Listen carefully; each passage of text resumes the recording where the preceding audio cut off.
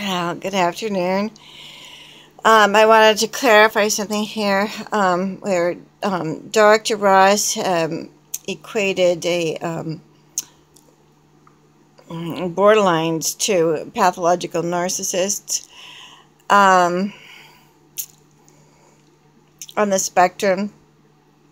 I would suggest that borderlines are at least uh, ha having that um, behaviorally in common. Behaviorally speaking, yes, in some respect.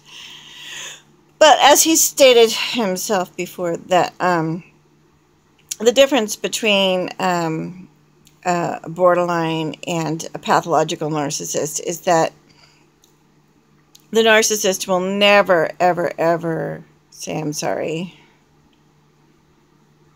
Unless they're screaming, I'm sorry. I'm not perfect in a justified, you know, self righteous, justifiable, self justified manner. Okay, I made some mistakes. I'm not perfect. Fake apologies. That that would be a pathological narcissist. A narcissist will never humble themselves to admit to anything. As a matter of fact, um, somebody with borderline behavior who accelerates to narcissist or may have been a pathological narcissist all along um, and, and, we're mistaking it for, for borderline behavior. Um, they they can't see or won't see what they do to hurt other people. And not only that but they will fan they will live out their fantasy um, in their speech. Later on in life will say i'm not someone who believes in yelling. I'm glad i never yelled at um, you know other people in life. When um, screaming and hollering was what they did uh, day in and day out and day in and day out and day in and day out. All day, every day. Um, so it was from this behavior that um, my spirit um, escaped and um, it's how, see, I don't, I don't think of my spirit as escaping. I thought the Lord took me, um, and chose me out of this horrific situation, and um,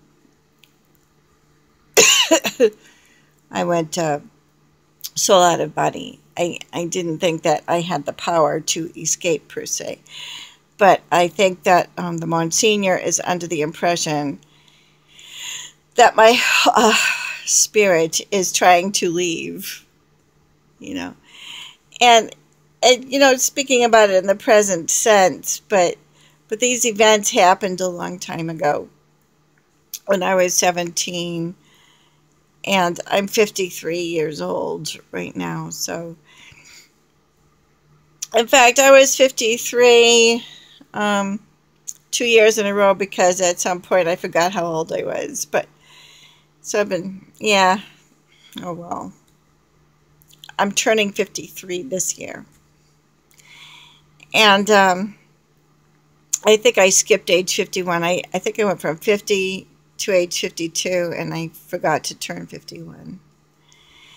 But anyway, um, my, uh, my soul was um, taken by the Lord out of body that that was my experience. I I didn't think that my soul had the ability to go wherever the heck it wanted to. I I was guided by an unseen force. I was pulled toward the lunar eclipse and then off to the left where my soul burst open into blissful song. So as I was being torn from my body through several levels of the um, what I called the limbo state. Even the Pope overruled the teaching of limbo. You can call it a purgatorial state then, but it's still the same place. Um, that uh, it, yeah, it was a purgatorial style, if you will, according to Kathryn Ann Clarke. And that was approved by the bishop of her area in um, Ireland. Um, that uh, yeah uh, was I was pulled through um, several levels of of limbo, uh, uh that is to say, outer space, and um, through several celestial choirs. And when I got to the top, I burst uh, like a firework open. I burst open like a firework into song. So as I was as I was being pulled, the it was painful, but not so much because the ecstatic joy absorbed the pain. So the pain, do you see? So so that the, the pain was transformed into joy.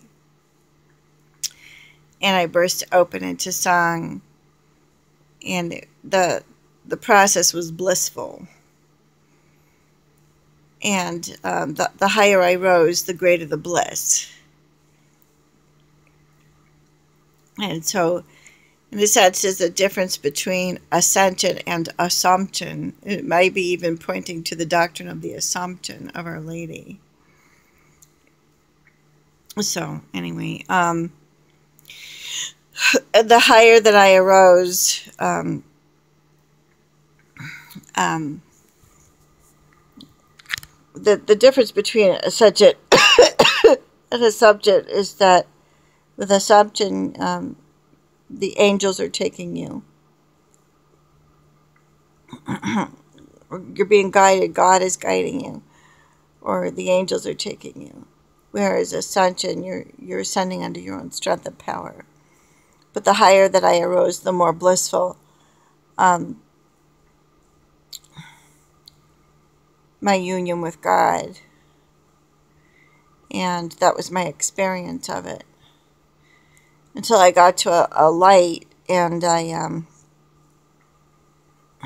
it was to the left of the lunar eclipse.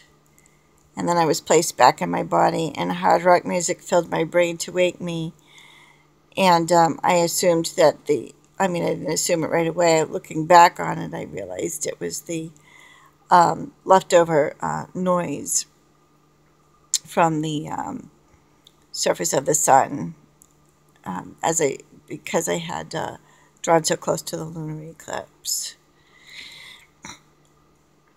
It filled my brain to wake me, um, and I woke up, and there was the same exact um, vision of the lunar eclipse. So people thought that I was hallucinating the um, the eclipse, that it didn't really happen. And then I looked it up um, um, several years later and discovered that it was there, um, recorded in NASA's records, December 30th, 1982. And that um, I also discovered recently that um, with Pope John Paul II, it was stated that the church was in eclipse and that Pope John Paul II was born and died on a lunar eclipse. Um, so yeah. Um, I don't I don't know why I got came on here to make the distinction between borderline and pathological narcissist. But but I think that, you know, with a um, a borderline like like we say that they're able to humble themselves and say they're sorry. They feel grieved um, when they've hurt somebody. And I can't say for sure that um, the, the person in my life doesn't feel a certain amount of empathy or, or grief over hurting hurting us or you know any comprehension about it. Um, but she has never admitted that to us. That's all.